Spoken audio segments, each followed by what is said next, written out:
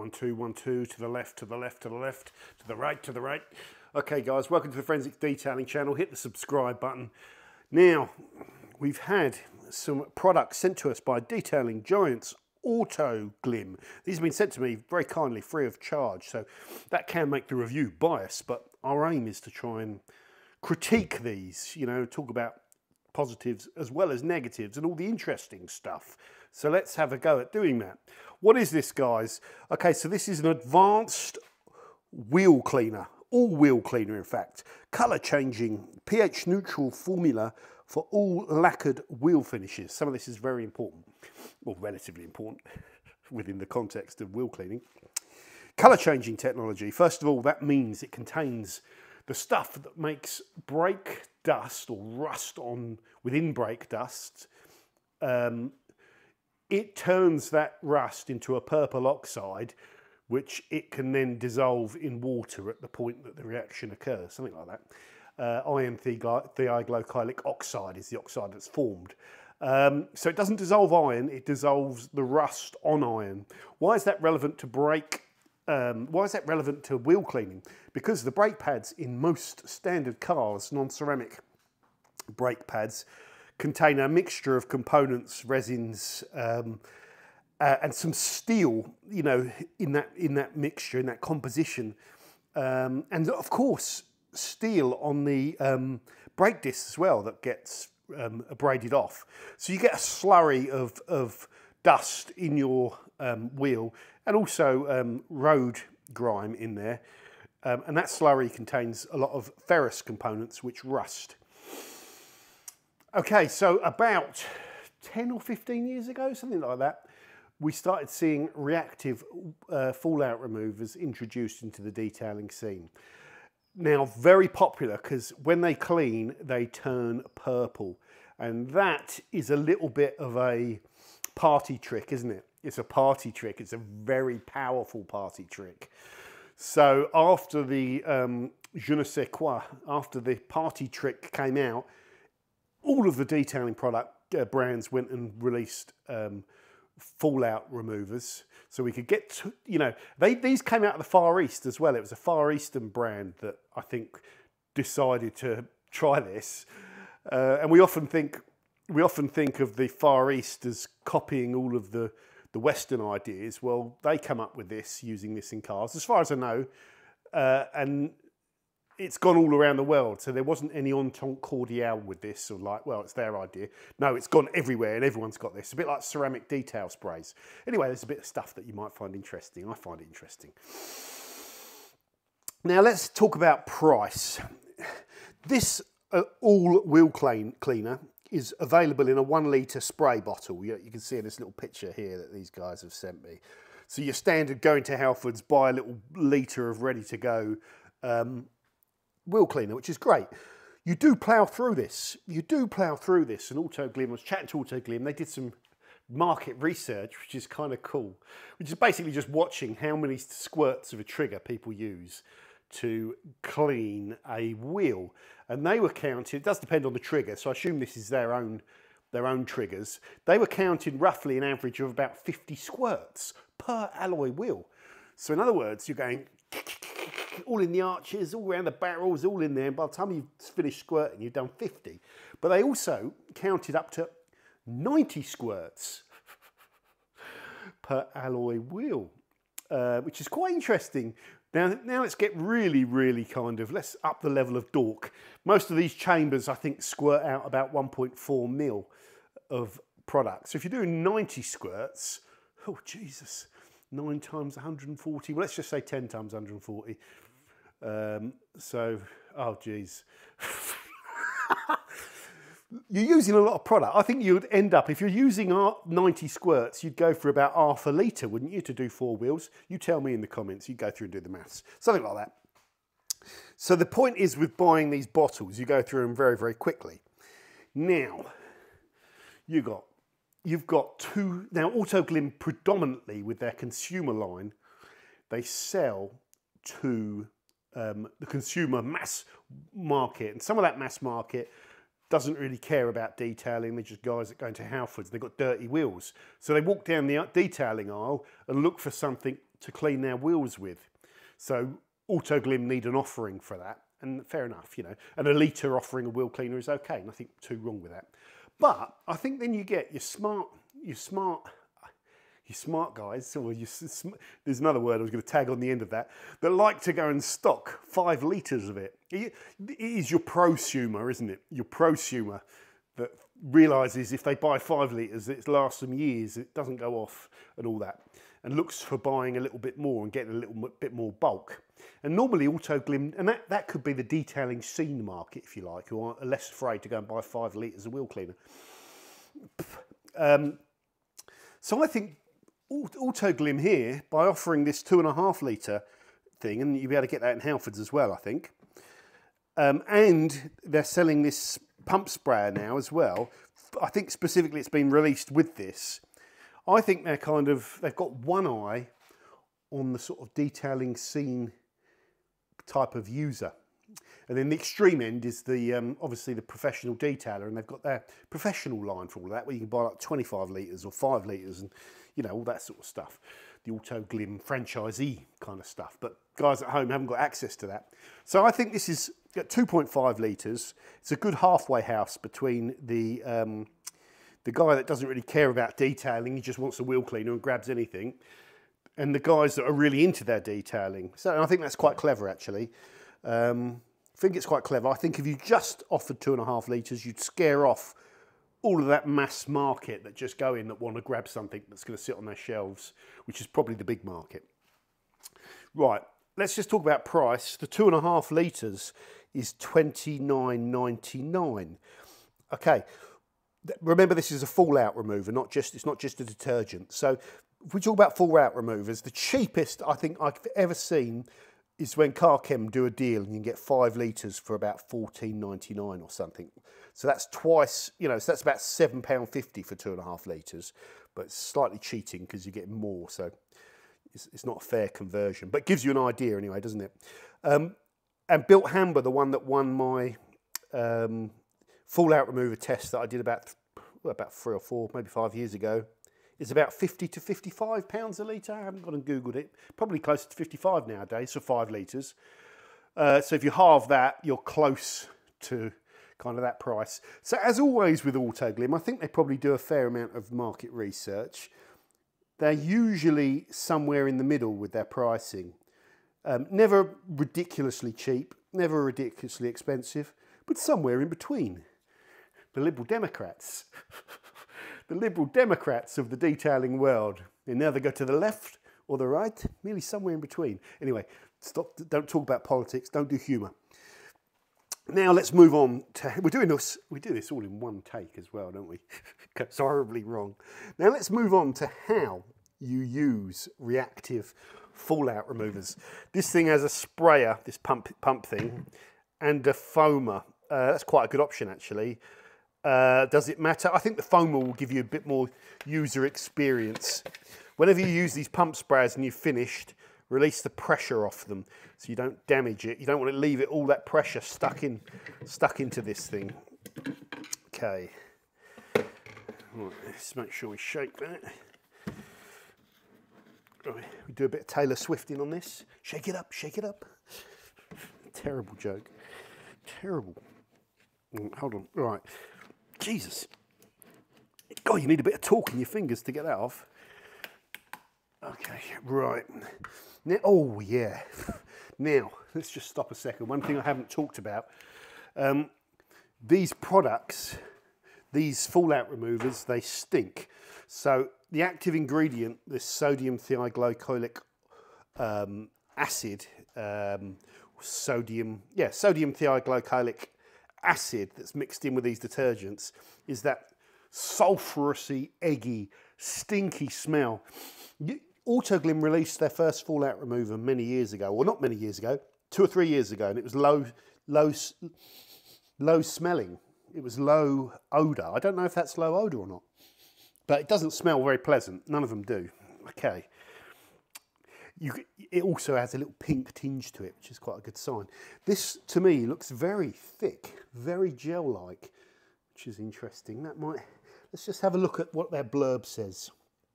Oh, clings to your wheel, increasing contact time. So maybe that's that gel-like stuff. Yeah, we know all that. This is interesting as well, guys. Suitable for regular lacquered, painted, diamond cut, anodized plastic wheel trims. If you have any different wheel type, use our custom wheel cleaner instead. I'd, I'd like them to state specifically what other wheel types it's not suitable on. And what's springing to mind there is bare metal, because sometimes these can stain if the surface is, isn't like a lacquer is a good surface, but if it's like a porous surface and these dry, they can embed. So sometimes as well on satin finish and stuff like that, you do want to be careful, especially a black satin finish. But it does, it's, it should be all right on those. But I have seen problems not with Autoglym products, but with fallout removers in general on satin finish. So yeah, I don't know. It says it's okay though. Um, but let's fill this up. Do not spill this because it stinks. Oh, yay, yay. Oh, that smell. Well, I'm going to go about halfway. That will give me an optimum amount. Just let me just get all the lid on this thing so, so I'm not going to choke to death. Sorry about the camera work. Okay. In and on. One, oh, whoa, nearly, nearly lost my camera then. Look at that. How the hell did I become a YouTuber? Um, so this is interesting.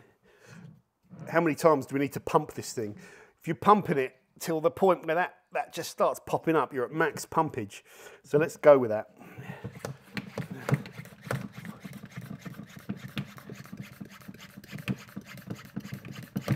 Ooh, that, you start to feel a bit of resistance, you know you're nearly there. That's probably enough. Who knows? Who knows? One thing I'll say with these, these pumpy things, they're great for like YouTube videos. Yes, I now have enough pumpage in there to probably, you know, put enough fluid over the uh, cleaning solution over the wheel. So that's going to save me the old twig, twigger, trigger squirting. but they are a bit of a pain, these things, in my opinion. But there you go. Um, so you can see here I have a really dirty alloy wheel. Uh, it's really bad, you know, but it's, you know, it's just that sort of normal dirt. It's dirty. here we've got a bucket full of random brushes and just water.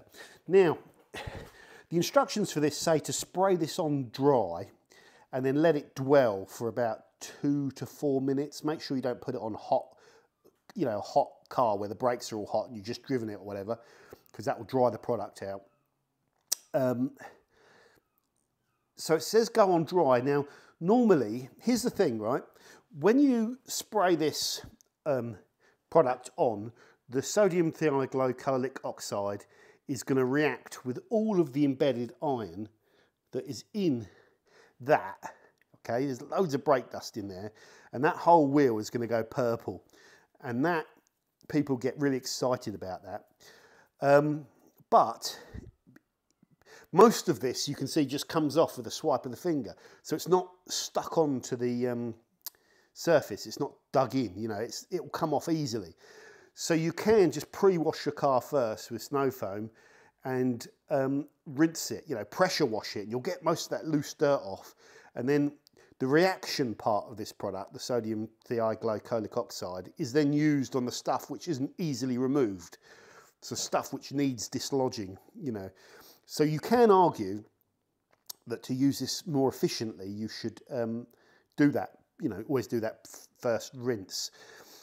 Um, you can counter argue that and say uh, if it's all wet in there, then this product can't get to all the stuck on stuff as much. But then, you know, there's two there's two ways of doing it. How I would do it is I would always typically pre-wash and jet wash off first because that's just what I do. Um, but anyway, I'm following the instructions.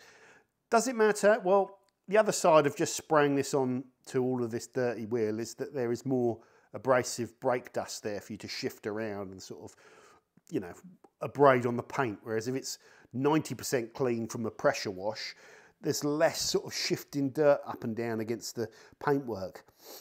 So it depends on your standards, guys. Now here's something that's important. This alloy wheel is not great. The surface is all right, but inside it's all bubbled where the paint's failing. So I'm not really too precious about how I clean this alloy wheel. With the Golf, I'm not really too precious about it. But if it's a brand new Porsche with an immaculate, you know, finish on it, it was just mint, then you want to nail down and get your process right. You know, do what's best for not damaging the alloy wheel. But you've also got to do this reasonably quickly. So we're, we're going into massive detail about things here that you probably may or may not find interesting. Um, so what we'll do is we'll just see, we pumped the hell out of this, so it should stay pressurised. We'll put this on now and leave it for two to three, uh, yeah, probably, you just don't want it to dry. Here's another thing as well, I'm full of information. If this does dry, what happens is the reaction, so for the, the, the iron, the FeO2 brake dust, which turns to iron thioglycolic oxide with the reaction, then dissolves in water. When the water dries, it dissolves back, the reaction reverses and it goes back to FeO2. So sometimes you'll be using these and they'll work really well, but it will dry and then you'll see a gold film over all of the alloy. That, that's not a gold film, that's the paint. so it can be hard to spot on this alloy. If ever you see that gold film, it's, it's reversed back to rust because you've allowed it to dry. Just put some more fallout remover on it and it will just bang, it'll instantly dissolve that um, rust film back to, to um, purple again. So there's a little tip for you. But don't let them dry. Right, let's go on now. So we've been talking for a long time. Let's see how this sprayer thing works. Right, can you see? Oh, it's not, oh, okay, it's not a foamer then. I thought it was a foaming head. Well, it's pretty decent. So maybe it's just a fan head. It did, it did say sprayer and not foamer. So we've used quite a lot of product there. When you're using that sprayer, it's very difficult to kind of, because it fans out, it's difficult not to get this product onto the brake discs. Uh, again, here's another piece of useful information for you. Um, if you can, you should avoid spraying it onto the brake discs. It's, you're going to get some on there. It's not the end of the world. The reason being is those steel discs get a surface layer of rust over the top of them. You know, you'll see that. Um, and when you dissolve that, it's it's no not a major thing, but it, you can get some pitting in the brake discs. I've seen it, and I've in, spoken to a few companies that make detailing products that advise not to spray these onto brake discs for that reason. Don't spray them onto your pads um, and you know, if you're going to spray them onto the calipers, just the metal bits. So maybe just spray it into your brush and work the brush in there if you're really thorough. Don't worry too much about that. But the extreme thing not to do is if you ever take the wheel off, you don't spray your brake discs with this stuff and watch your brake discs turn purple because you're going to do a decontamination on them. No, don't do that. Okay. Um, so we're still in time here. We'll give it about another minute. What we're looking for is the purple reaction. In fact, we want to see that purple reaction, don't we? Uh, yes, it's happening. So let's just look at that. This is the impressive bit. Oh, that smell. oh. It is not, I, I do have to say, guys, one thing I'm really impressed with is that I put quite a lot of chemical on just to make sure it goes everywhere, you know. There's no chemical on my garage floor at the moment. Normally a lot of that would have run off. So that really is thick and that really is stiff, if you pardon the pun. And it is quite nice to spray it out with just a little squirt of the uh, hand rather than pumping away 90 times. You know, that'll build up 90 squirts with your wrist will build up massive strength in your arms. But luckily for me, I've already got massive strength in one of my arms. Don't do humour. Um, right, this isn't, it, this isn't in any danger of drying at the moment, so I'm just going to let the reaction carry on going. In fact, what I'm going to do is I'm going to grab the bottle and get my thumbnail clip. This is, look, I mean, I mean, the only YouTuber lazy enough to get a thumbnail clip while he's actually doing the video. so if we put the bottle there, shut that thing there, we'll get the Autoglym logo in the front and we go there. Look at that. And then what I can do is go right down here and then I'll get a screenshot of that later on. Make sure we come back a little bit. We can do the really low pan. They look good. There we go. Yeah, I like that. Okay. So let's agitate this now, guys. We've got that thick. Look at that reaction. Look at that. Oh, yeah. Now we'll go. Now, normally, you know, you can go around with this one on the uh, inside. I haven't really put any chemicals in the arch, so we'll just do we'll just do the wheel. This is a little mini EZ brush, which I think is fantastic. Half the battle is just finding the right brush for your type of alloy, isn't it? And this little mini one I know is good for this. This. And while you're going in and out, you want to get all those little edges as well. And yes, I am going a little bit slow here. I've got a camera in one hand. I'm watching myself.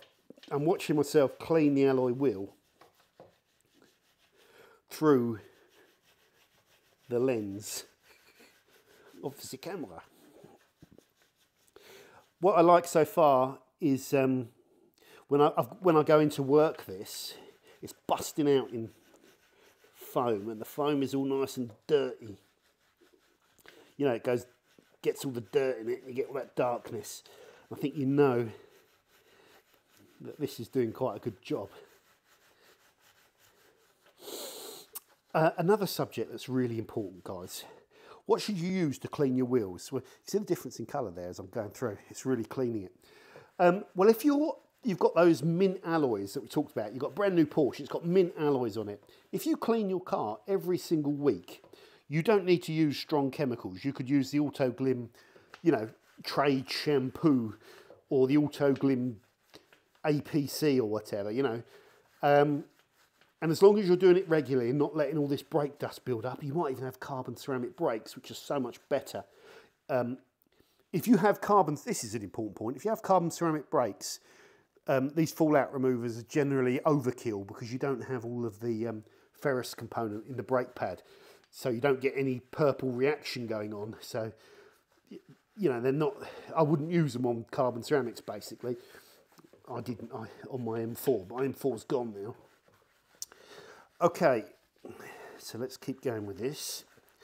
What else was I saying? So yeah, if you keep your alloys mint and you keep doing your regular clean every week on a mint set of alloys, you could use shampoo and use softer brushes and microfiber brushes and wash pads and all this sort of stuff, and it would be quite a gentle experience. If you have, however, let's just pan this out so you can see it all. If you have, donk, if you're going to clean a car that has really dirty um, alloy wheels, then, but not not ridiculously dirty, you know, they've just not been cleaned for a couple of months, but like this, for example, then these are brilliant, okay? They're sort of like a halfway house between using a mild product and an acid, you know, and in some ways you get the benefits of the milder side because it's not dangerous, it's not corrosive, it's not going to attack the clear coat binders or anything, um, or the finish. It's not going to um, corrode bare calipers.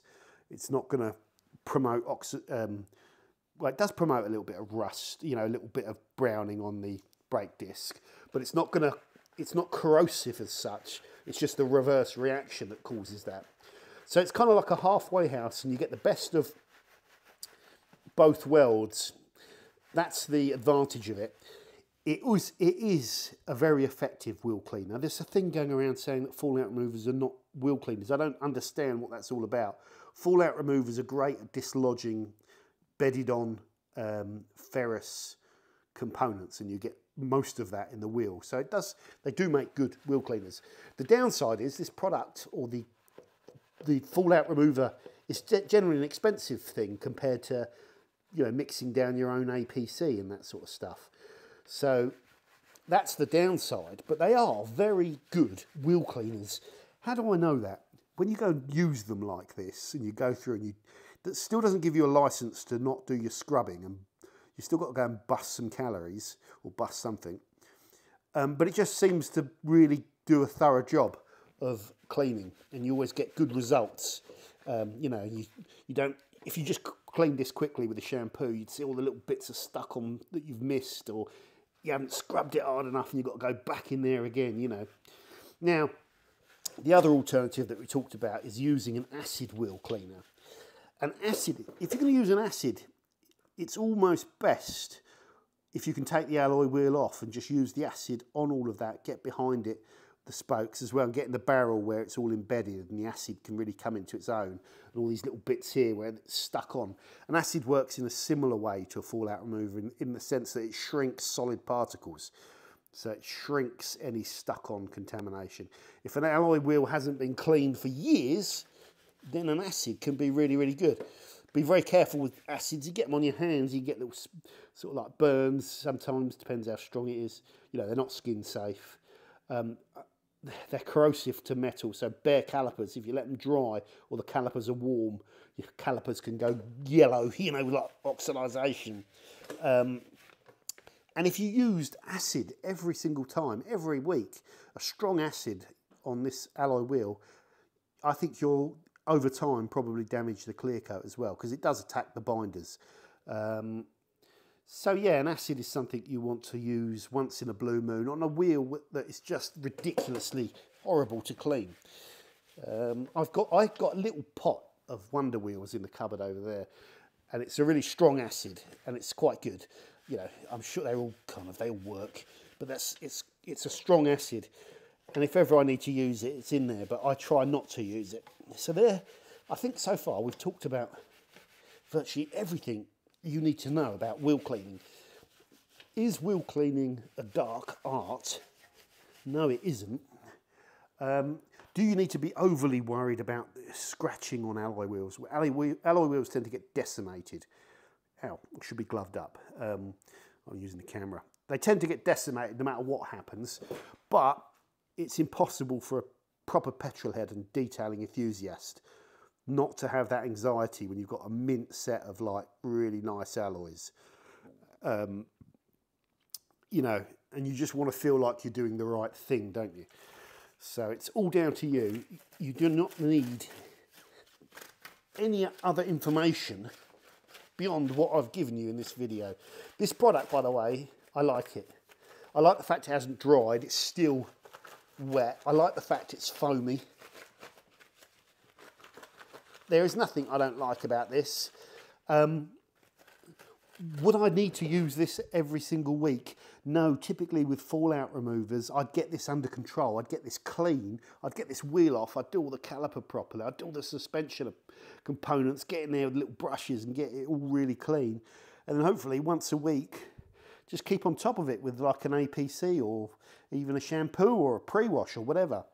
But you can see how, look, I mean, look at it you can see how it's really made cleaning this alloy pretty easy. You can get this on the rubber as well. The rubber is embedded in fallout, so you'll often see that turn purple if you put it on clean, but it's got detergent in there so you can clean the rubber with it. And it's still wet and it's still working. Yeah, I think it's a good product, this.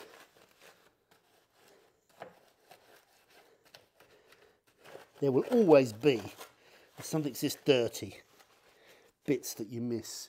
And you can never have enough brushes, so I could get a little hog's hair and go in here into those little lug nuts areas. But I think if I've washed this off now, guys, you get the idea. I'm sure there's some bits, bits on there that I've missed.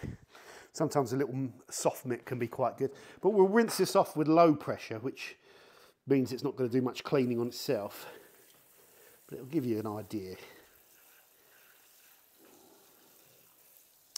Yeah, I mean the barrel barrel is still on this, needs a bit more work. Oh, I haven't really done, I'll tell you what I've done a poor job on, the caliper, um, yeah, the caliper. So I just probably need a little soft brush. Look, there's loads there.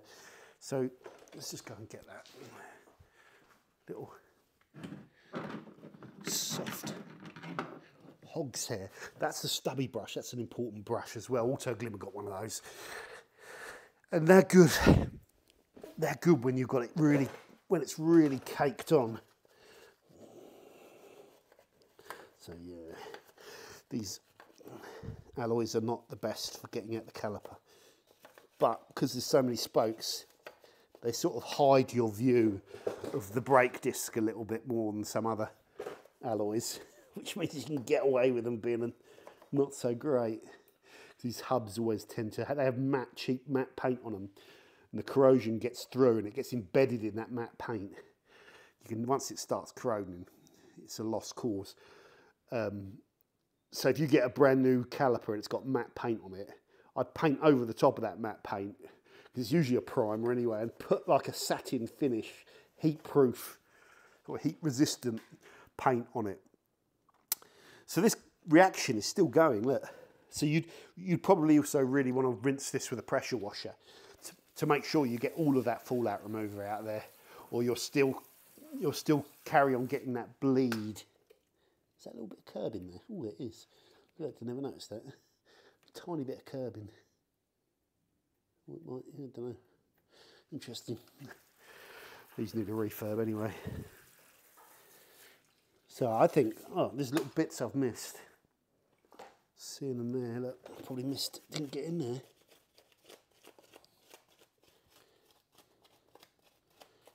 You've got to be so careful, haven't you?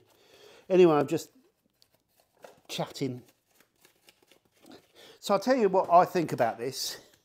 If I went into Halfords and I was looking for a wheel cleaner, I would be looking for the most, oh, of oh, a reactive wheel cleaner, I'd be looking for the most I could get.